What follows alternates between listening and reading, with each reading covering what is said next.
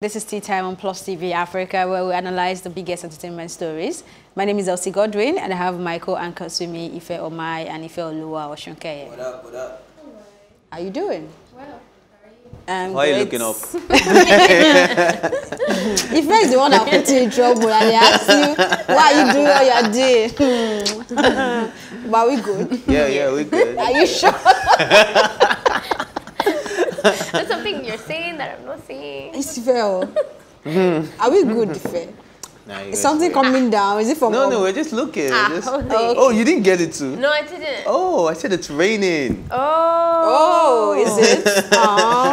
Showers of blessings. I should be on my bed, but it's okay. I mean, Yeah, the Nigerian Immigration Service NIS has suspended the reposting of five of its female officers who participated in the viral Bop Daddy challenge. Um, this comes after Falz and some concerned Nigerians took to social media to condemn the harsh treatment. Folarin Falana, popularly known as Falz, also wrote to the Controller General of the NIS, maintaining that the reposting of the officers was punitive.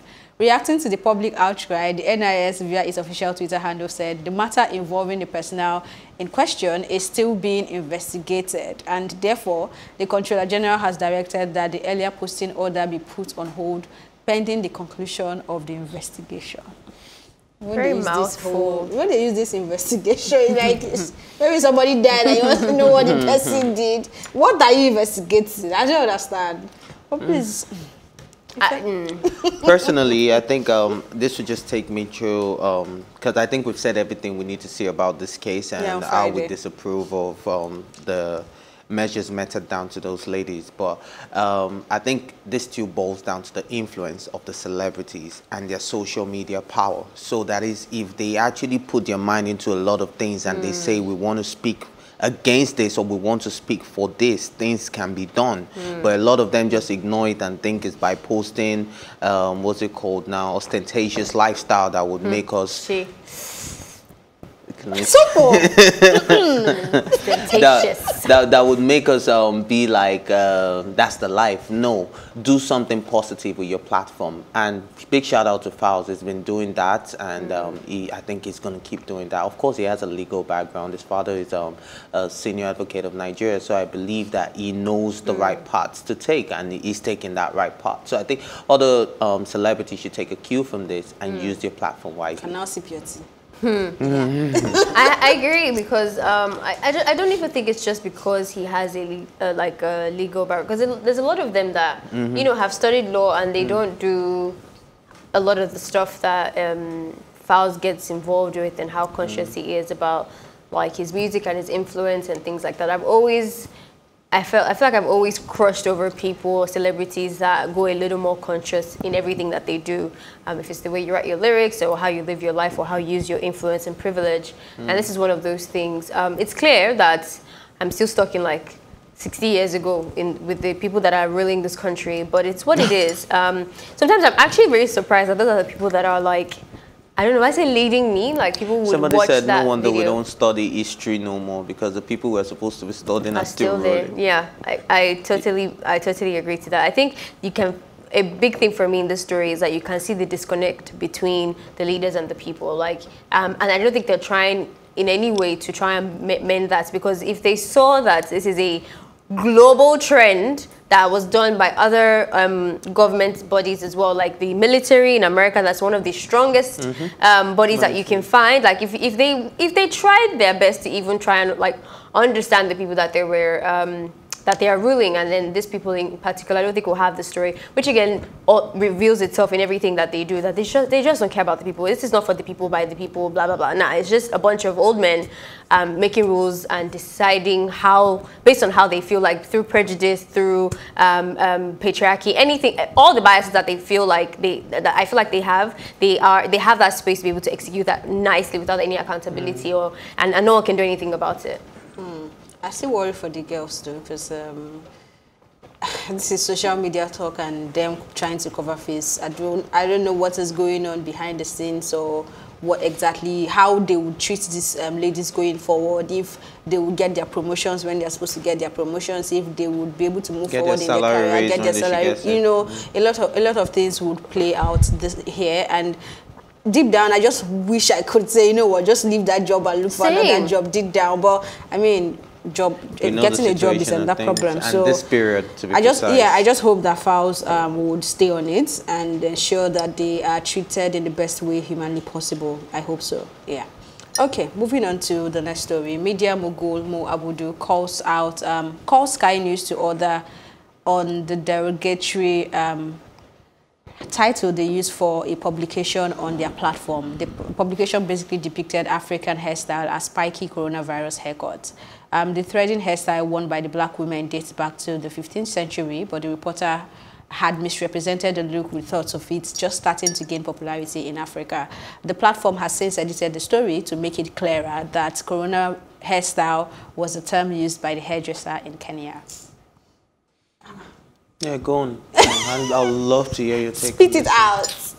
Uh, they, I think hair for black people have been a very touchy subject because um, hair is identity and our identity has been very shaken from slavery and colonization and all of that type of stuff, um, from perming hair and all of that stuff. So there is a, a very like, it, it's a shaky and tricky situation to thread on, especially when you start going into um, African and Black American communities where you know colonization and slavery and oppression is still very active. Um, so people don't take it very lightly when a mistake like this happens. Um, I find it really derog- derogatory. I feel like if this was a white person that made one style, they would have still found a way to just make it look very appetizing and like they would have called it like creative and unique or something. Um, but I felt like the title was very like I don't know. I don't think maybe he the person thought well enough to not avoid coming across as derogatory. I don't think that their intention was that I want to make these people feel bad, but I don't think the person did enough job to avoid that. Um, and for me, it's pretty much the same.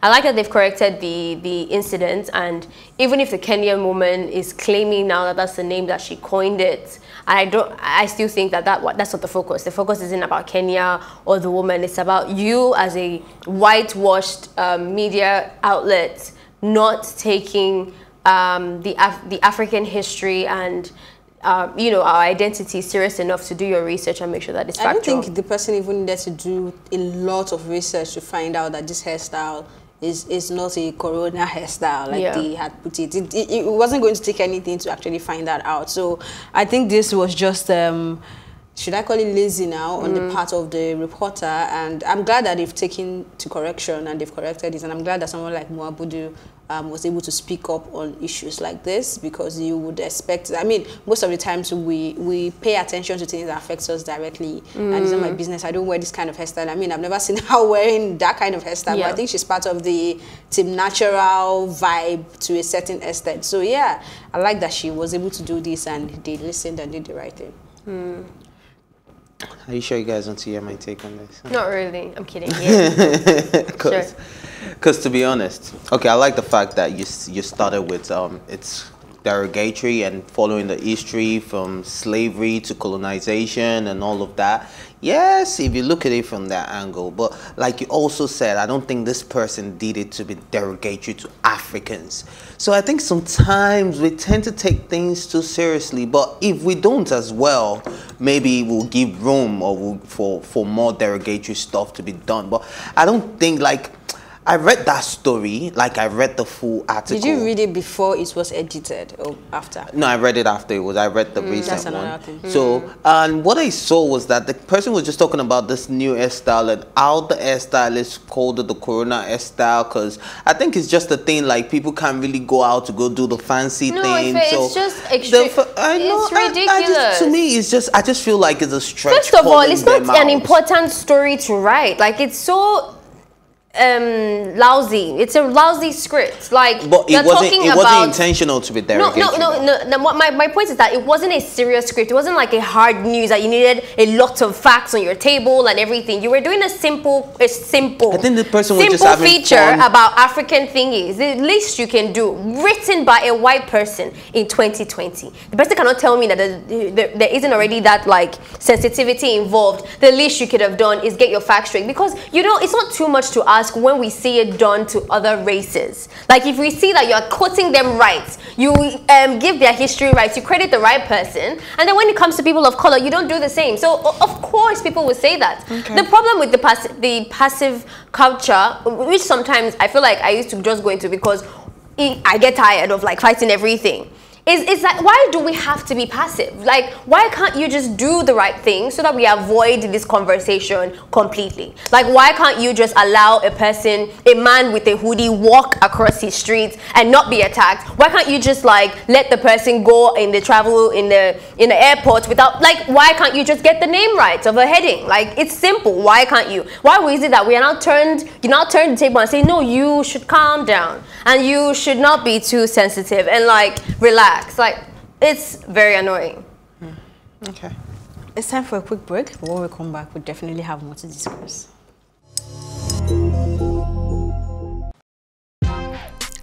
Welcome to Tea Time on Plus TV Africa, where we bring you the biggest entertainment stories and, of course, analyze them for you. You can have both parents and still end up as a useless child. I see them every day. Most times I worry more about where I'm coming from mm. and where I am now. Wow. And that determines my next step. Why are you sounding like Alibaba, Alibaba. now? Oh, Plus TV Africa, we're feeling good. No time to dull, everybody feeling alright.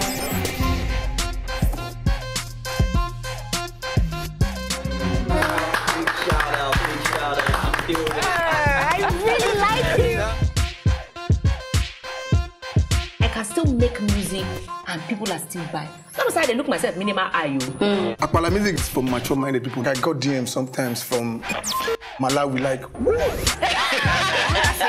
sleeping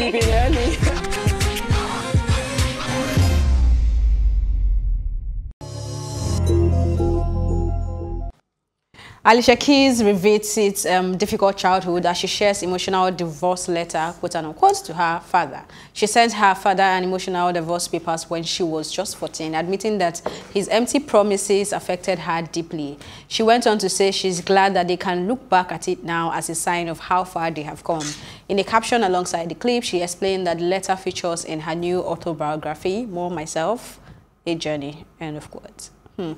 I just want to say this just makes me understand that Alicia Keys was born to write from day one. Mm-hmm. Like the words were just well put together. That I felt like this Age could be an amazing song, as well. Yeah. yeah. So I like that they're walking it through, and I think this autobiography is one that I would love to read. Um, there are a couple of autobiographies that I've looked at. I'm like, oh, this is purely business. You'll be fine. Mm. And there are some that I have actually um, taken a step to read, and I love the lessons that I learned from it. I feel like this will be one of those. But the relationship with she and her dad now, you know, we had had a conversation about it on this table, and um, it was more like a diverging opinion. But I like the, the controversy this is bringing. I like the conversation it is starting, mm. and I like that a lot of people will pick lessons from it that would help them in their own personal lives. Mm. The so. last statement is like stamped and approved. Um, that you just made oh, about ah, oh my approved my oh goodness.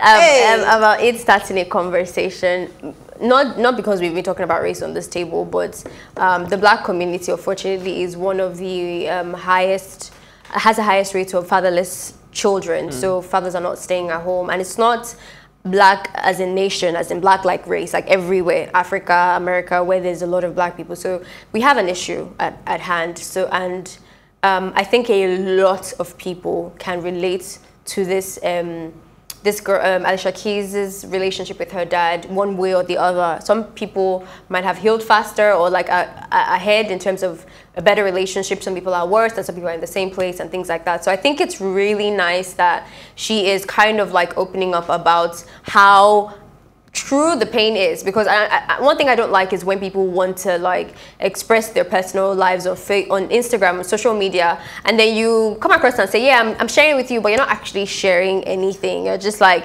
sugarcoating and making it look really nice when we're in a great place now. We thank God which is great but like I haven't really gained or taking anything away from the story. And this direction that she's taking is so vulnerable and so like exposing like she's really showing a lot and i think that's really that would really give a, a, a, space for people to heal another dynamics i like is because the father is also clearly on this journey with her Yeah, because you like that ask for he was permission. the one who kept the letter actually. Exactly. So I like that he's also willing to share that because then a lot more people can gain from this. It's not just a female thing or no, you know, you're bringing the parents into it. So it's an amazing conversation to have um, for this particular like time. Yeah. It's so amazing. Why you guys look the way you guys just turn to look at me like kilo something like Oh yeah, it's like kilo something finally. okay, but um, I think I think it's nice that she's showing a vulnerability and um, she's showing all the girls out there that regardless of what you're going through with your parents or either your father or your mother right now, there's it's always a process and you would definitely heal. And it takes two as well. Yeah, it takes two. And right now, she said they're in a good place, but it's still good that she's sharing this bad times that they've had, the sad moments in her life where she felt alone because her mom had to work long hours and she was always home alone and all of that. So imagine being a young girl just with a keyboard, no father around, mother working long hours. It's enough time for you to be thinking, and then you have friends that are talking, oh, my dad did this, my dad came back, my dad came. So imagine how she felt as a young teenager growing up and all of that. And right now that she's successful, they are just patching things together. So this is a very good conversation for a lot of women and men out there to know that regardless of the um, rough patches you may have with your parents, if you give it time, you would heal. And if you check it now, I think it's a trend amongst um, a lot of adults, especially the celebrities, because we've had people like Kevin Hart, we've had people like Drake, we've had who else? I think that there are a number of them that had um, very rocky relationship with their parents growing up, and now they're all good. So I think um, just be open to forgiveness, no matter what you're going through, no matter what you feel like anyone is. Just be open to forgiveness, and I'm sure time I heals. also, I also like that um, in telling the story, she's making room, if I can put it this way, making room to also make excuses for the dad for the um, decisions he had made in the past. There was a part where she was talking about how he's, he's just not the confrontational person from the get-go, that um, him and her mom had, had very separate um, personalities and maybe that was the reason why they came together in the first place and it didn't work. There's no excuse that's going to be good enough. It's But if certain excuse. yeah, mm-hmm. it- it- that's why it's an excuse, right? And mm. which is why I'm saying that I like that she's making room from that for that and not saying that oh there is no reason at all. At the end of the day, people's personality, their traits, how he was also brought up, a lot of things will also come into play in mm. this story, which is peculiar to them and how they've been able to sit down to trash it out. But you cannot just take away all the excuses, regardless of them being excuses, and just throw them away. There are also True factors that need to be addressed and looked into in the society. I also And sometimes like, you don't know what. Sorry, go on. It's fine. I Again, need to clear my throat. And sometimes you don't even know what these parents are going through at that time as well. Like, um, I remember, um, who was it? Who was it? I think it was J. Cole. Or one, no, he's not J. Cole. Don't let me say. Okay, it's Cadet. Is late now. He, he was always missing his dad and all of that. And he would promise he would come for birthdays and come for birthdays. But apparently was a drug addict. So he couldn't make it. So sometimes you don't know what is going on in the life Th- of this person. That's what I was going to as say. I think when we get, as we get older, you start to see that your parents are not as great as They're you not think. perfect. Yes, like I think growing up, I think, oh, my mom was like flawless, like, and she, I still like, I mean, oh, but I think as I get older, I'm a lot more conscious that, oh, she does have like strengths and weaknesses like everybody else, Mm-hmm. and some people unfortunately don't have parents that their strengths outweigh the weakness. And this, sorry because you continue, but this was what Gabrielle Union was also trying to Exactly. say when she was saying that you cannot Not- try to be perfect parent. You have Yeah. to be as vulnerable as Yeah. you can be. That would not at least scar the child. I I think pe- people also, when you get older, you realize that not everyone is fit to be a parent, and I Mm-hmm. think that's where um, Alicia Keys found her healing when she realized that this person is not going to be my dad, which is what I need. Um, but what I wanted to say away from that is that I wish she would start to talk about the traumas um, of how those things have been exhibited. I think sometimes we struggle with um, inter- um, translating traumas to something. So if I was abandoned when I was a child, um, I see a lot of people displaying that in, in real life in certain behaviors, but they don't, I think they forget to connect those two things. And I think it's important that you be able to identify a source of a problem. That way you can like try and help it out. I, I saw in comment sections, I mean on Twitter rather, people were talking about like whether or not that was the reason why she took this guy, what's his name, Swizz Beatz from... Bit. A from his family because there is a whole controversy around that and how she knew that she he was in a rela- was married and had children and they still had an affair and everything. And somebody said something about how maybe she liked that he was present with a family, like the fact that he was a family man. Mm, that could have been the and, and that could have been the attraction. That for me is a is not a good thing, but it's I think it's a trauma on on that. I could be speculating. It's an angle. Yes, I wish she would come out to like talk more about that. She probably won't talk about that. Yeah, no. Okay. Probably um, won't even admit that. So finally, um, 29-year-old lady alleges Jay-Z is um, her biological father. She says her mom is suffering from neurological condition and has been told by her family her whole life that Jay-Z is her father and her family members are online backing up their claims. She was born in 1990 in Cambridge, Maryland, where her aunt Terry Turner says she introduced her mother, Lisa, to Jay-Z. Turner claims Lisa and Jay-Z used to hook up at Lisa's sister's house before she got pregnant and gave birth to Latisha Misa. So, I don't know, public service announcement, Jeff Bezos is my dad. But as a kid, I had a skin condition that made me black. I think that's very different. I feel like that's so different because if you're talking about like um, biology, but in terms of like biology and features, they're actually quite they they it's They a believable yeah it's a believable life for me because So, you don't think I look like Jeff? no, Look at me. Sorry, Look. sorry. The younger picture when she was younger, like the one with B, um, Ivy, yeah, I feel like that's a possibility. Either ways, it's a she said, I said, I said, you said. Um, but is it far fetched? I don't think so. I think he is known for that. Um, Wendy, that used to be really There's a close to them possibility, right? it's a very high possibility. Um, uh, I remember Wendy, that used to be Wendy Williams. How you doing, girl? She used to be very close to the couple, and she gives tea all the time on her on her page, and she talks about that. And then you have um, Beyonce writing a whole album in regards to that. So like, if there was a slip up in, in, in that, I would not be like extremely surprised. But surprised. that would be a slip up from the past. He's not been doing it today now. 1990 Nine years ago. So is it- I don't was it think- do- it wasn't doing it I don't today? think she would. She should. Well, she can I be. don't think herself, you like I don't Jay-Z a think lot, she's do going you? to No, I, I, I, I don't upset like I don't like him, but I, about I a don't think this is something that is beneath him, is what I'm saying. Like, if you mention somebody else, maybe I'll be like, oh yeah, let's be careful. But somebody who's But at known that for, point, you know, he's he's he could be called a young boy, yeah, young child or young teenager child, or young, young boy. adult, Yeah. d- living life, Yeah, could be being so- and that means- so that's like a high possibility for not just Jay Z, but for almost anybody. yeah, I, it, f- I think the reason why it's even higher for Jay Z is Ah. because he But sleeps see, I She around. doesn't like Jay Z. Have you seen him sleeping around? His wife is telling you sleeping around. Is that is that You an argument thing? good hair. Exactly. But she has come out, she- She said that say they have that now it's for just song, No, that she never. uh, uh, she never It's a said that. She did not say that. At But least, it's a but song. she She didn't. that they've But she didn't say That's what she said. Her but she was that hasn't. they've Has she come out to say it as well that he cheated? She gave your her whole life on the Oh, album. Anyway, the album, let, has let, she let's out focus. Let's not remove from the 29 year old auntie now that's looking for her father. Um, well, in, I, I don't know. I don't know. There was a guy that came out, um, I think two years ago as well, that said um, Jay Z was his father. The oh, guy It's very strike- possible for Jay-Z the, to the have guy, The guy had a outside. Like, that's striking not a- resemblance that's not with Jay Z, but we never heard anything about it.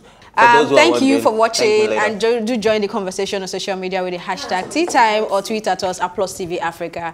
Remember, you can catch up on this episode and all our exclusive content by subscribing to our YouTube channel at Plus TV Africa. Thank you, as always, to go to my amazing co-anchors, Ife Omai and Ife Oluwa Osunkeye and the entire production team. Thank you for watching Plus TV Africa's Tea Time. My name is Elsie Godwin. Do stay home and stay safe.